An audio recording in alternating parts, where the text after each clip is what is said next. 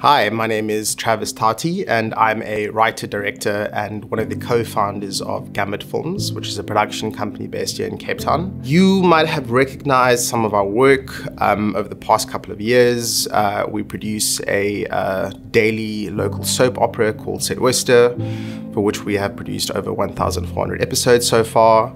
Um, we have produced a number of feature films, um, number 37 um, being a key one that premiered at South by Southwest in 2017. That's a film festival in Austin, Texas. Um, we have uh, recently completed two seasons of a Netflix original series called Blood and Water um, which was an uh, African original uh, production. We've also just completed production on my first feature film called Indemnity, which just had its world premiere at Fantasia International Film Festival at the 25th edition this year. Um, yeah, so that is um, us as a nutshell um, and things you might have uh, recognized that we've done in the past. But um, let me tell you a little bit about how I got into the industry. So I've always loved film growing up. Um, I think, you know, it was my happy place, you know, going to uh, cinemas on a, on a, on a weekend. My parents would drop me off basically on a Saturday and collect me later that afternoon because I just spent most of my time there because I loved it so much.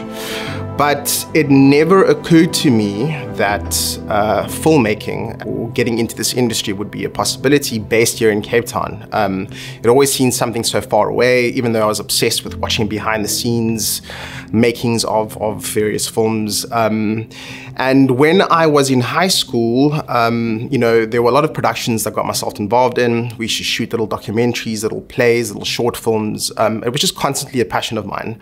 Um, and like I said, it never entered my mind that filmmaking would be something that I would be able to pursue. Um, cut to, just as I finished high school, I learned about a film school called AFDA in Cape Town. Um, my uh, I was basically heading in another direction when I learned about this and decided that, hey, this is something I really love. Um, you know, everyone always talks about, you know, doing what you love um, and the money will come afterwards.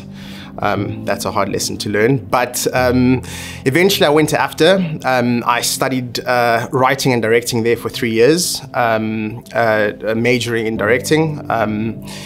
Um, I think, you know, directing, I learned pretty early on the discipline that got you almost involved in every aspect of filmmaking, which I find super exciting. Um, you know, there's there's there's a lot of different avenues that you can pursue in terms of what um, you know position you want to find yourself in a film.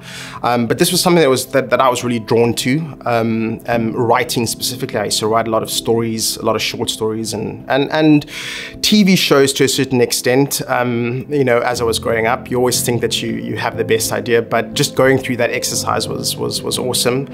Um, I left film school in 2008, um, and uh, pretty soon out of film school, um, I had the idea to start a production company. Um, you know, just looking at how the industry um, looking at the industry in Cape Town, I realized that there's there's actually two avenues to pursue. There's there's the service industry, which is amazing, and we have all these international production companies that come and shoot in, in Cape Town, South Africa. Um, but I always found that um, it was kind of it was, it was it was a closed group of, of, of, companies, and, and you never really had access into to, to the kind of information you need to grow as a filmmaker. I also learned that um, you know it's it's it's an industry where the service industry, you know, involves a lot of international production companies coming and shooting here. But with that, they bring all of their key creatives. They bring their producers, they bring their writers, they bring the directors. Um, and so I find it challenging to be able to break through as someone who really wanted to make and tell my own stories. Um, and so pretty soon out of film school, we got this idea to start a production company. Um, and it was myself and two of, um, no, three of my colleagues that had actually graduated um, with uh, at AFDA with. Um, and we had set out to start this company obviously knowing absolutely nothing about running a production company.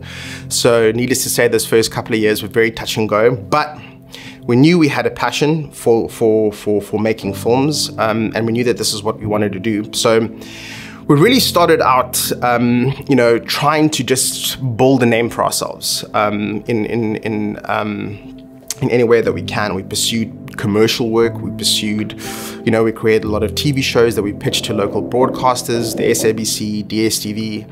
It involved a lot of rejection. Um, which is something that you kind of have to get used to in this industry. Um, but we never really, you know, it was it was never something that we ever thought we would ever be able to give up on because it was just, you know, sort of ingrained in ourselves that this is what we wanted to do. Um, and so pretty early on, I think we had um, we had gotten an investor into the into into our company, um, and and we were able to operate for a couple of months, and we just pitched on various things, trying to you know get a name for ourselves, um, but it never really worked out. I mean, I think you know when you enter the industry, um, you leave film school, you've got this kind of um, this thought that is like, you know, I, I had this idea that I was gonna make my first feature film when I was 25 years old. It was gonna be easy, you know, it was just gonna, I just needed to write a script, someone was gonna finance it, um, and that would be the end of it, and we'd just keep building from there. But uh, it's never really that easy. Um, and so we, um, struggled to find work, any kind of work. And the reason why we pursued like commercials, television, film, every asset um, of filmmaking where we thought we get to learn new skills or improve on the skills that we had developed in film school um, was really just to, to, to improve our capacity as a production company and also just personally um, understand what it's like to, to, to, to uh, live and work in this industry. Um, and, and it's exceptionally tough. Um, I think after the first couple of months, we, we, we, really didn't, you know, make any, gain any, any, any traction. So what we had decided was that we just, we all needed to gain a little bit of experience in some form. So we all set out on our sort of various paths, um, going to work on service industry jobs in various departments, in the AD department, in the extras department, um, in the casting department, anything that we thought would help improve our knowledge and, and, and allow us to be able to learn from that experience and then take that on board um, and use, use it in our own ways um, in, in terms of when we ever got to, to, to producing film. Um, and that was an exceptionally tough tough, tough experience. I think, um, you know, there's a particular kind of way um, that, that, that those films are produced. Um, as much as it was an, an, an, incredible learning curve, and I got to work with some real industry veterans, um, I think there's there's been this sort of philosophy in the old um, especially in older generations and these sort of older service companies, um, where where parting knowledge is is not something that you know you can just walk onto set and, and, and gain access to. I think it became quite difficult to to to really be able to work under someone um, and and have them teach you in a way that is actually extremely valuable. Um, and so we kind of had to fend for ourselves. Um, but in saying that, I think it was um, it was a great opportunity that we were afforded, um, and and there was so much to learn in the way that these productions operate. Every you know these are massive scale productions um, that that that involve hundreds and hundreds of people, and you just this tiny little cog in the machine, um, and you kind of learn your place. You kind of you know understand set etiquette. You kind of understand um, everything that goes into uh, pulling off a production of that scale. Um, and we kind of used that knowledge, you know, for about a year or two. We, we, we, we worked on various productions whilst simultaneously just keeping this dream alive wanting to, you know, produce our own, our own content. And so we'd meet in the evenings, um, you know, we'd, where every opportunity we had, if there was, you know, a pitch or a brief that came out, we would find it, see if we had something or if we could create something that might meet a commission or broadcaster's uh, standards, um, and just kept on doing this over and over and over again. Um, we were lucky in that we um, we we got a, a, commercial client, which kind of sustained us for a couple of years. Um, you know, it was very very low budget commercials, but in doing that, we were able to you know um, a keep the dream alive B, start paying people so that you know their time is actually um, worth the effort, um, and that we would be able to sustain ourselves.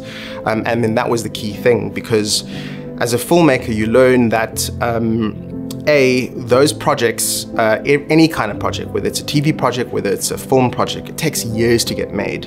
And so there's a lot of time and energy spent in getting to the point where, you know, a project um, can even be financed. And so as a business, um, you know, we needed to find a way to, us, to sustain ourselves. And I think that is where we set out to be different um, in trying to change our approach to what um, most other filmmakers were trying to do.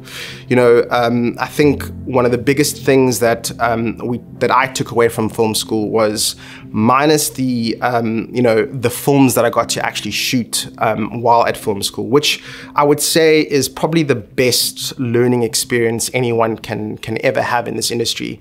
You can study for years and years and years, and you can learn all the theory, but actual but actually, it's the it's the making of films where you grow the most. Um, and I found that to be the case when I was on these international productions as well. But you know, even even through my own personal experience, is that every time you watch something you've made you can recognize your mistakes, you can see what you would do differently. Um, and so that would that was something that stayed with me quite quite quite um, from quite early on is that you just need to keep making stuff so that you can keep improving and you can keep growing. Um, and eventually, you know, um, you know, through this commercial client that sustained us for quite a while, um, we we had some more time to pitch on various um, um, shows or briefs that came out from DSTV or from SABC. Um, and for many of them, we got quite far. we got to the point where we were sometimes um, after pitching to the network, heading into casting and um, you know going into pre-production, and then for some or other reason um, the, th the, the project would fall apart, and, and and that is a very very heartbreaking thing to have happen. Um, but you learn also quickly on that, happens all the time, and you kind of have to grow a thick skin and and be able to cope with that kind of rejection constantly in this industry.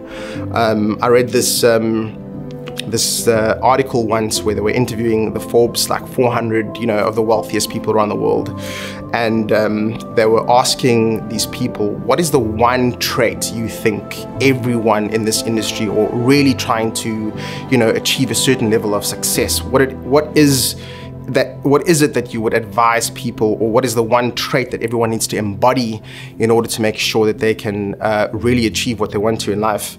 Um, and out of those 400 people 376 of them answered the same thing perseverance.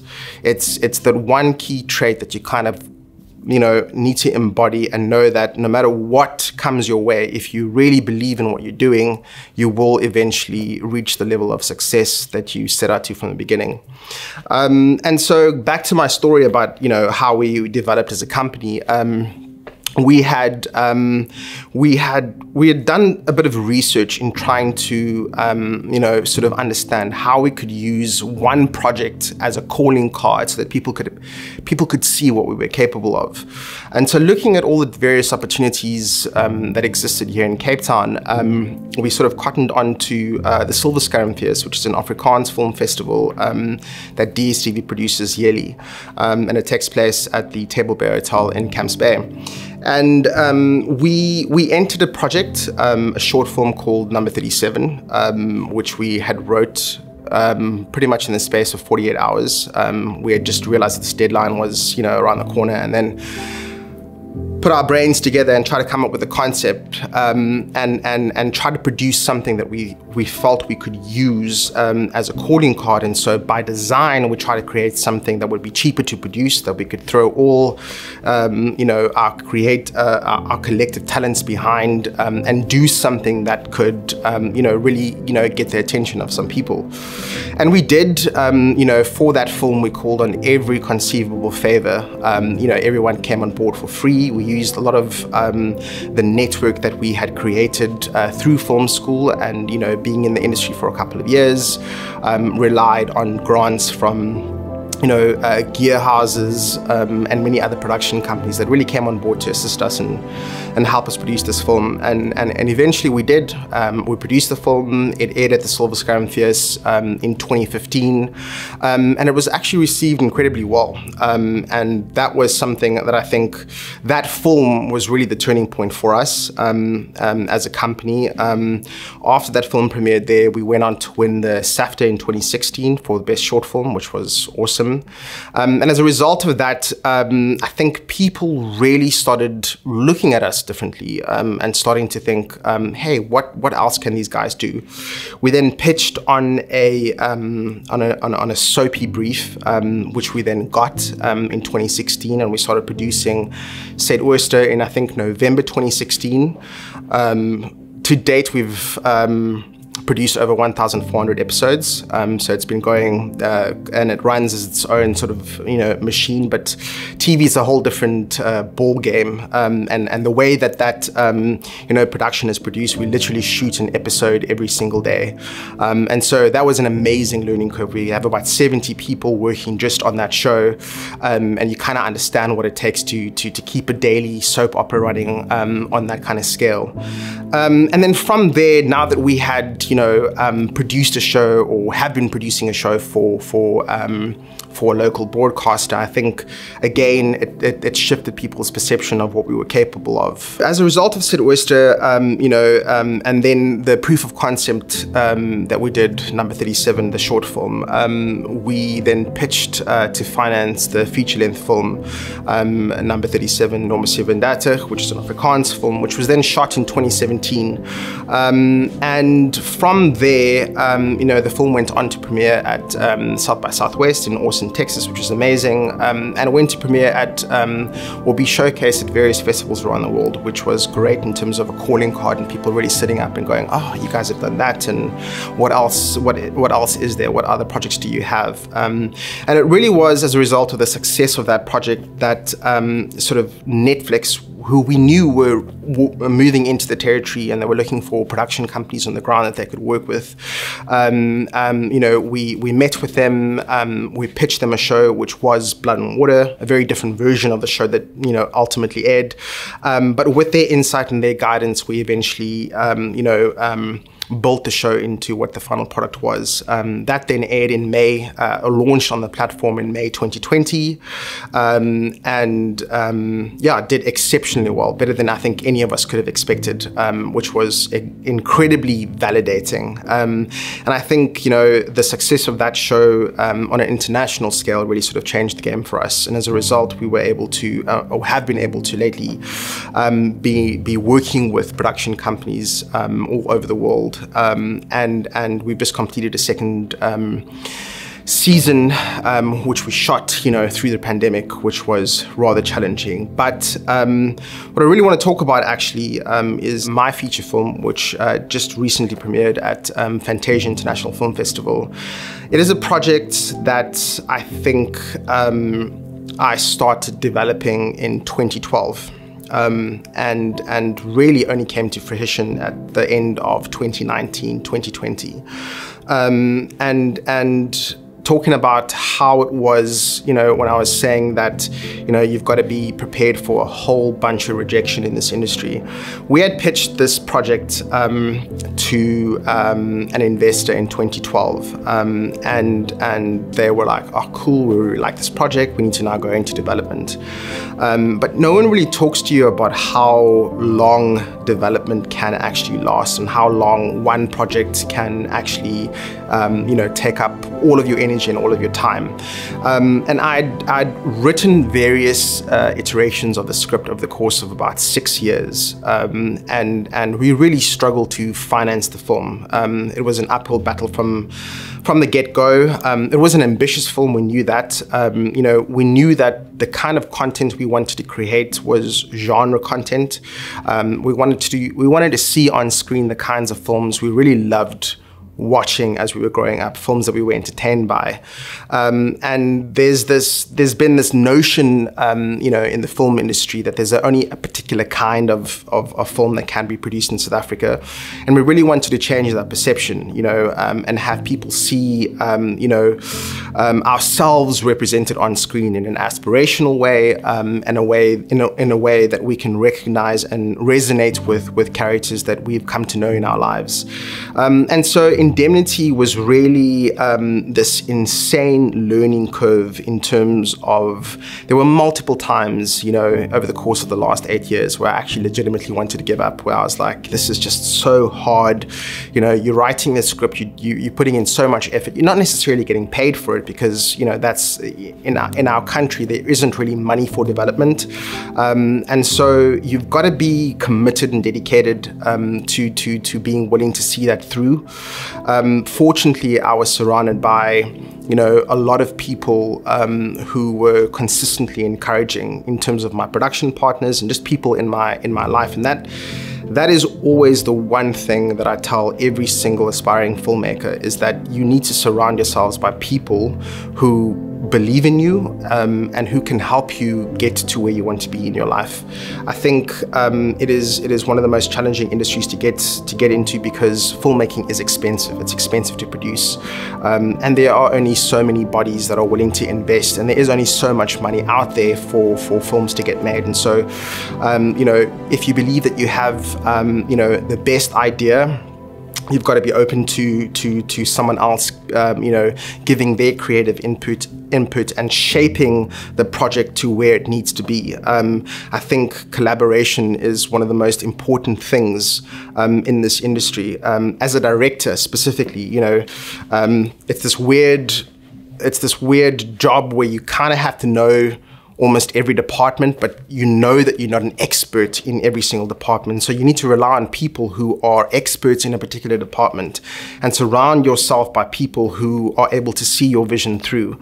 Um, I think, you know, um, collaboration um, as a director is the most important thing that you can actually understand and take on board um, because you might think that all your ideas are the best, but that's not necessarily the truth. Uh, you know, someone else might come to you with uh, something simple, some small piece of advice that might change the way you think, um, and ultimately just really, really improve the project and taking it, taking it from being here to, you know, much better than you thought it could be. If I could impart um, any advice to, to young filmmakers, I'd say that, you know, um, recognize that it is, an, it is a hard industry that you're getting yourself into, but I think like with anything that's worth achieving in life, um, it requires a certain amount of sacrifice and a certain amount of commitment and dedication. And if you do that, um, I think, you know, that consistency, that perseverance is something that will really, really go a long way. I think, you know, in my experience, I've understood or I've been fortunate in, enough to, to understand or be surrounded by people that advised me, you know, throughout my career. Um, I think doing your research is, is incredibly important. I think the more you read, the more you realize how many, how similar your story might be to so many other people. I think, you know, you, you take these directors or, or any, you know, successful person in this industry and you read their story and you kind of, you know, everyone always just focuses on the on where they are now and and the success that they've achieved in their life, but they don't you know, really, if you dig a little deeper, you'll you'll see the struggle that it was for every single person to get where they are, and and that's encouraging. Is to is to not take that on board and say, oh my gosh, this is so hard. I don't know how I could do it. If you love it, look at it from this perspective and go, well, they made it, even though it was hard. Um, that you could see that the, their struggles is something that is actually a sign of encouragement. You know that that that um, understanding that it is supposed to be hard, and anything worth fighting for is hard um, that that you know if you if you if you read more and understand that this is something that is a shared experience, you won't feel as as as alone in in in, in this journey, which which is often the case in filmmaking. It can often feel that you have the world on your shoulders and it's just you with this dream, but that's not the case. So I'd say surround yourself by people who who who who love what you do as much as you do um, because you'll you'll you'll feed off that encouragement and, and, that sort of commitment to the trade. Um, and then it's really just about um, you know sticking it through. I think you know keep working over and over and over again on a project on a script on on on something you want to get get made I'd say a good entry point is always to do something like a proof of concept you know it's it's people we, we work in a visual industry in a visual medium. So if you're able to showcase or demonstrate your ability to tell a story, whether it's two minutes or 10 minutes or an hour long, if it's great, if you put effort into it and make sure that this is the best thing that you could possibly put forward, um, people are able to tell the difference. You know, audiences are so critical um, because that's we, we we're surrounded by so much content. There's so much option for us, and and audiences are smart and people can recognize when something is good and when something is bad. Um, I'd say work towards something that you can put forward as a demonstration of what you're capable of. And once you put that out there, once you put that out there into the universe, um, you'd be surprised at how quickly people would cotton onto it and recognize what you're capable of. Um, so keep at it. Um, don't ever stop. Um, you know, give, don't ever give up on that dream.